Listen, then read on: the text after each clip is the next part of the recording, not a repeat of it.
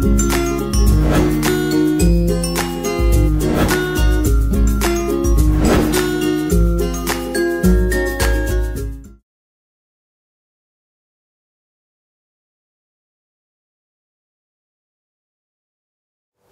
everyone, welcome to Naresh Technologies. This is Srinivas.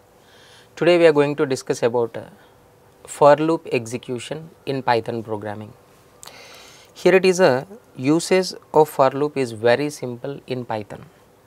But here along with a for loop usage, so we should learn about a range function also. Right? Here it is a it is an iterator. It is an iterator. So, what is that iterator? Just use it to execute a block of instructions as long as the specified condition is true. For loop, a loop executes executes a block nothing but a single instruction or more than in one instruction. We can say a block. Block as long as as long as the specified condition is true. Specified condition is true. So, that is a for loop. And here it will use the range function range. And this is a Python library function Python library function. So, here it is a for loop always takes the help of this range function to iterate. So, how?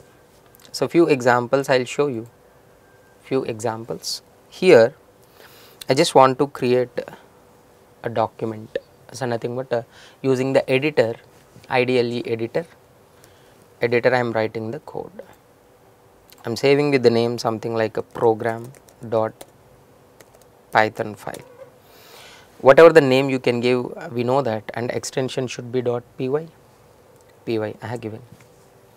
Now a simple for loop how to execute for.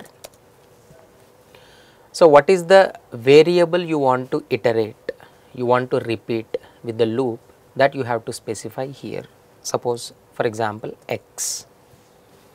In the range of that is a function in the range of suppose here it is if you specify that 10 see look at that the first argument it is saying that stop.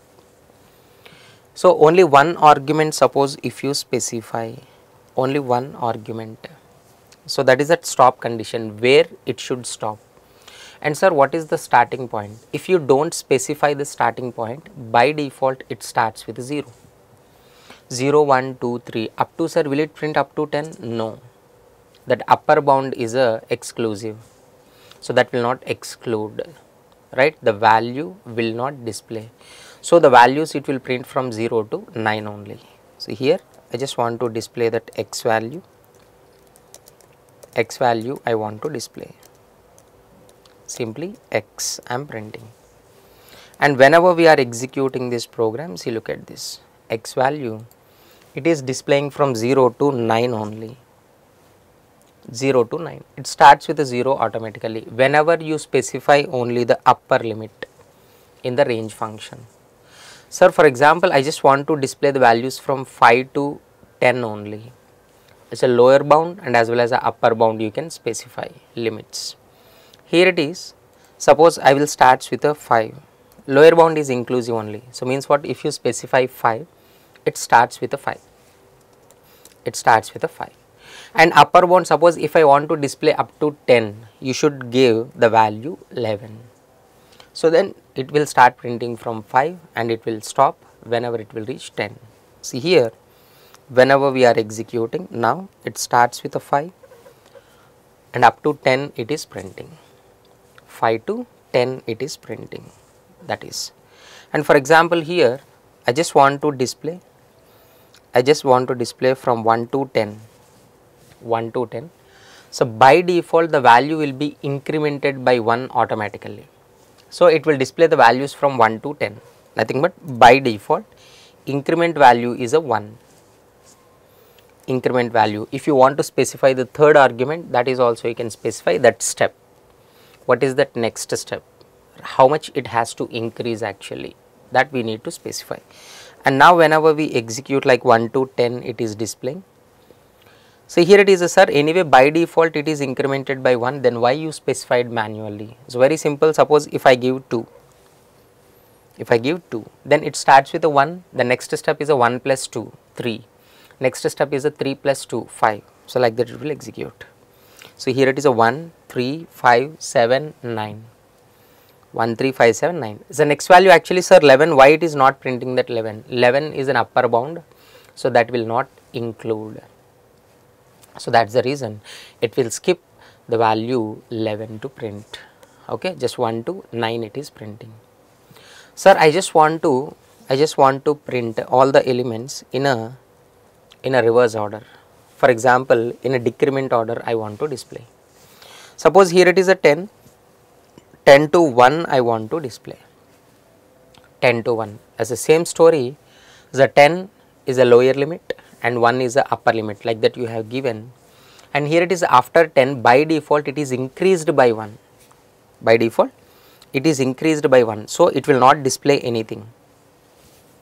It will not display anything because whenever it is checking the condition 10 value is greater than 1 so so here so next what it is checking that? Just minus 1 we are giving. Minus 1 we are giving. So then it will print in a decrement order just like a 10, 9, 8, 7, 6, 5, 4, 3, 2 up to 2 only it is printing because you have given that upper limit is a minus 1 I mean 1 you have given here 1. Suppose if you want to print up to 1 you should give 0 then it will display up to 1. If you want to print up to 0 just you should give the value is a minus 1. So, hope you understood and here it is in the reverse direction also. Suppose a minus 2 I have given. Minus 2 and whenever it is giving that 10 minus 2 8 minus 2 6 so like that. Up to 0 but here it is a 0 you have given. So same story. That 0 will not be displayed. So, this is just how to use a for loop, how to use for loop. But sir here every time whenever we are printing that value directly x value in that line we are it is printing. I just want to display side by side on a same line I just want to display. Here it is just 1 to 10 elements I want to display. Whenever we are writing simply x by default in Python print function will send the control automatically to the next line after displaying the specified content.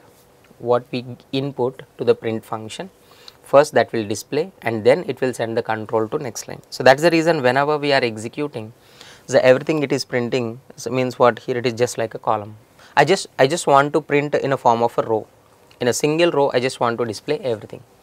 So, then simply here it is x comma it should ends with end just like you can say one argument or you can say one attribute or you can say one property anything just to function we are calling.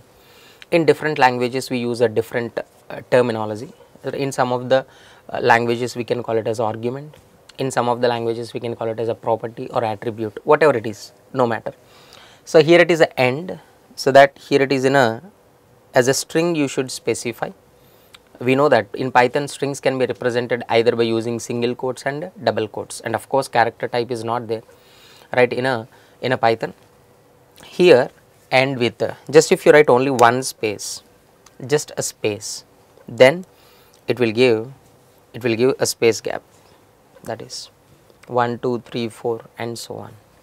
And here here suppose instead of this one I just want to give the tab space slash t I have to give like other languages here also escape sequences are same escape characters are same. Whenever we execute this then it will display like this. 1 2 3 1 2 3 4 5 6 whenever it will reach the end then it will start printing from the next line. 9 10 so like this the elements will be displayed. Okay? So this is how to work with a for loop and using the range function right? If you want to display the elements in different lines of code then simply we can use a print or you just want to display the elements on the same line with a with a tab space or with a space or with a double space and all. So, we should take the help of that end property or end attribute. Okay? In two directions. In a forward direction we can display and in a in a backward direction also we can display and how much it has to increase or how much it has to decrease. When it will move to that next step what is the next step? That is also you can you can as a means what decide with the help of the third argument of a range function. Okay? So this is all about a for loop and working functionality of a for loop. Okay? Hope you understood. For more videos please subscribe to Naresh IT channel. Thank you